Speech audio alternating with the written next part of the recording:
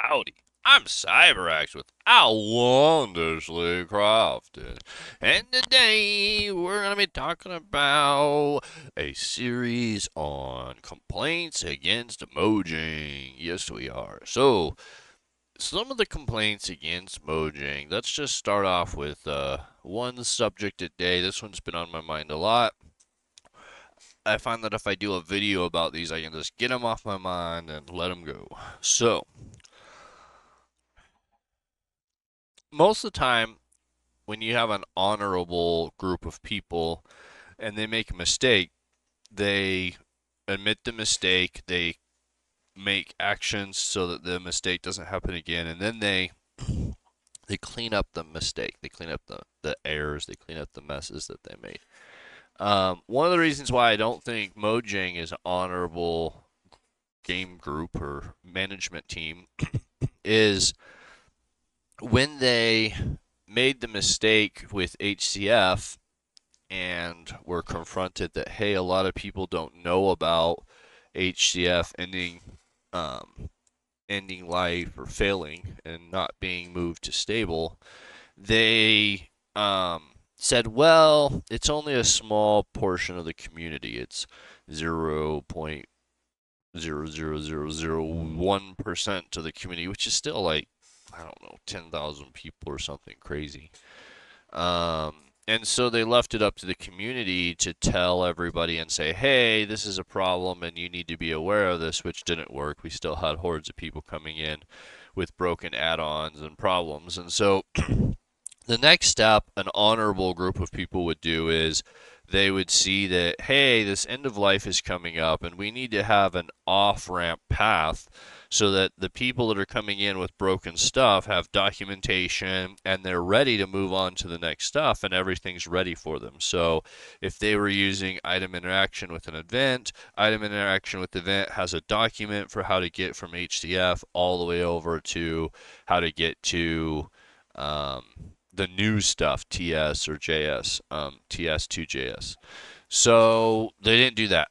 Um, they left it up to the community to clean up their mess and to make the documentation and to write those things and to do all of those steps instead of them taking the time to clean up their mistakes and to um, even just to apologize to the community and the HCF people by spending their effort to offset the effort HCF people were having to spend to clean up the mess or the community was having to spend to clean up their mess. Instead of doing that, they were dishonorable and they didn't they didn't show up or write any of those docs. Um, they left that up to the community to do, and then you know HCF ends. A whole bunch of people come running in, screaming and you know crying and pleading for help, and then the community has to react and and rush and spend their time to make documents and update the wikis and, and do all of this stuff to help these creators that are in distress. The next step of that is a honorable group of people that make a mistake would show up to the end of that mistake and they would help shovel the shit and clean up the mistake. I used the example in another video of if, if I came to your house and we threw a killer party and we just destroyed your house, um, I would show up the next day to help you clean up. I wouldn't just abandon you and leave it up to you and the community to clean up the yard and clean up the mess. That would be dishonorable. So when Mojang didn't show up, not a single staff member showed up in chat, not only to apologize to these creators and explain what's going on and why there was a mistake, why they weren't notified properly. Um, they didn't do any of that. They just disappeared and and put all of that burden of their failures on the community. They left it up to the community to clean up their mess. They got paid for it. They got the credit and the ego for releasing HCF and being part of Mojang. And hey, we're looking at all this great stuff we're changing and all this stuff we're doing. Um, and when it failed, they didn't pay any cost. They didn't show up at all. Other than them hearing complaints in Discord about it, that's it. They didn't have to spend their weekends coming in to the channel and helping people. They didn't have to spend their valuable time telling creators that their add-ons were destroyed one after another after another after another. They didn't have to carry that emotional that emotional burden that they did something, they failed, that caused creators to lose content that they had put hundreds if not thousands of hours into. They were enjoying that was working great and it just stops working because of their choices and actions because HCF in their words was clunky. So, because of something they felt was clunky, now the community has to clean up their mess, pay the emotional burden to go in and tell all these creators that their content is is broken and destroyed and they're going to have to spend hours, days, weeks, months fixing it and learning TS and JS or just give up and let it go. They didn't have to come in and do that. They should have. They should have been required to. An honorable group of people would have. But Mojang's staff and this team have shown directly that they are dishonorable people.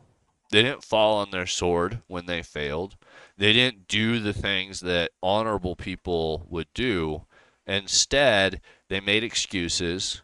They pivoted into more failures. They covered their ass at every stage. So instead of owning up and standing strong and being leaders and having ethics and morals and honor, they chose to be a weasel, hide in the shadows, um, and just ignore it. Like it doesn't matter, it doesn't affect people, or it wasn't their responsibility. Instead, they put that on us. And that's a huge burden. That's a it's a huge problem for me that they left it up to us to tell creators that their dreams were just set on fire because of Mojang's failures. They left it to the community to communicate to these creators. They themselves didn't communicate it. They themselves didn't come in and carry the burden and bucket the water and shovel the shit. They themselves sit on the sidelines, make all the good money, have the rep because they work at Mojang and they're changing Minecraft and they have a big ego that look at what they're doing and how great they are. But they're not even willing to show up and shovel the shit and do the hard work. That's dishonor. That's why I have a a vote of no confidence in Mojang's team and staff because when it came down to it, and their character was pressed, they were found lacking. They didn't stand up for the little guy. They didn't stand up for their choices. They didn't stand up for honor. Instead, they were rats. They were corporate rats that gave us corporate speak and hid under corporations instead of being good creators and good community members and showing up and helping doing their job. Instead, the community has been doing their job. Let me ask you, how many beta testers do you think Mojang employs? Have you ever heard of one? Who does Mojang's beta testing and alpha testing?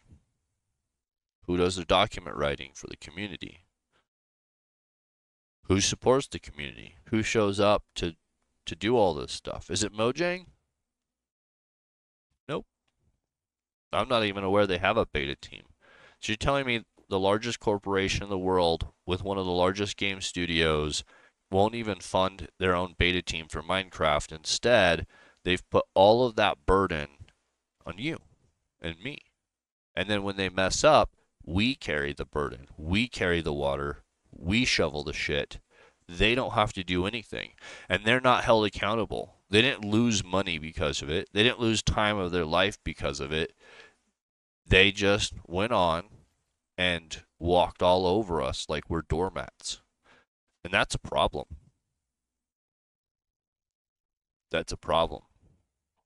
If you don't think it's a problem and you think Mojang is doing a great job, how do you explain the dishonor? How do you explain their actions of not showing up or even doing the documentation or even having a pathway, an off ramp for creators having these issues on HCF to move over to TS and JS? That's not even done. They don't even have that done. And then we heard a lot, a big, uh, oh, Mojang's changing all of a sudden this weekend. Oh, all of a sudden out of nowhere, Mojang's going to make all these changes and look at all these big words they're saying. You know what's a bigger example of change than talking more, which is the problem with Mojang? They just talk and talk and talk, but they don't actually do anything. They don't put, you know, their actions behind it. Why don't you release features? if you guys are doing so good that you can do multiple update releases a year now, and you can do all these things that you just promised us and said, hey, we're going to be able to do all this now, all of a sudden, we haven't been able to do this for four years, but all of a sudden now we're going to be able to do more releases and all this stuff, and we're going to really get it done. We're going to give it the old college try. Um, you know, releasing actual features when you say those words would have actually proven not only that you had the ability to do it, um, but weren't just blowing smoke up our ass still. You go to No Man's Skies and they put out a little emo on Twitter, and then in a few days to a week, they release all that content, hundreds of features. You guys talk and talk and talk to stroke your ego and to be big and to look at us, but don't do anything. You're not releasing features at the same time. You didn't do an update. You didn't do a whole bunch of stuff with it. You said, oh, we're going to change this up, and down the road we're going to do that. Just get excited about what we're doing. Oh, yeah. Don't worry about all that failure. Don't worry about all this pivoting and all those choices. Let me just give you one example. Um, game test still shows as experimental on the wiki. It's been years. Yet Mojang says that the community is not overwhelmed, that the community isn't burned out, that they aren't damaging the community. Yet I'm told by the community game test released to stable. Game test is purely stable. That was a success. That was such a success they made it into a whole nother API product. But yet game test still says experimental. You can't have it both ways. You can't say game test remo- released to stable, it's all good now, and then it was so great that nobody went and updated the documents because they've never used it. Nobody's complaining that the documents say experimental outdated because nobody's using it it's a really weird thing to say, hey, look at our success, and then see that the community is so burned out by your successes. Your successes are so amazing, you burned us out to the point where we can't even go to a document and change experimental to stable. That's that's how great the community is doing right now. That a document for um, game test can't get changed over because we have so much excitement for Mojang right now. We have so many people coming in the community saying, "Hey, we want to help out. We want to volunteer. We want to do documents for Mojang. We want to do this stuff." no, we don't. We have a ton of people every day saying, "I don't know if I want to do this anymore." Because of how Mojang's treated us and their failures and their lack of honor. Uh, the disrespect to the community, the usage and abusage of the community as your workforce instead of hiring and paying a proper workforce. It's gross. So, this is my series on complaints against Mojang, and this has been our dishonorable team uh, complaint.